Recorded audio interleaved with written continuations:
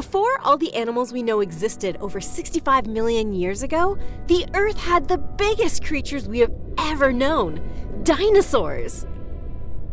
Did you know that dinosaurs ruled the Earth for more than 150 million years? Ooh, look at this dinosaur. Did you know it's called a Brontosaurus? I know it's hard to say. They lived up to 100 years, and they are herbivores, which means they're good dinosaurs and they eat plants and vegetables. How about you? Do you eat your vegetables? Just remember, they are really good for you and listen to your parents. And then there was a meteor approaching that wiped all dinosaurs away.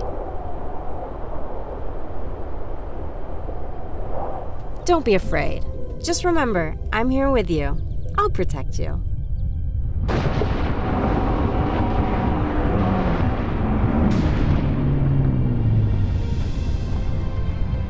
Mm-hmm.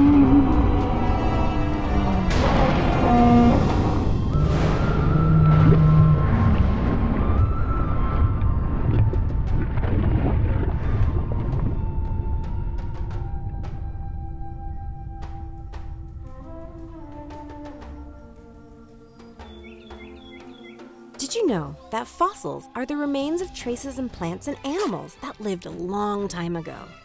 They give us clues about the past. The only reason we know dinosaurs and other extinct animals existed is because their remains have been preserved as fossils. And did you know? A funny fact fossilized poop can be pricey. Isn't that hilarious?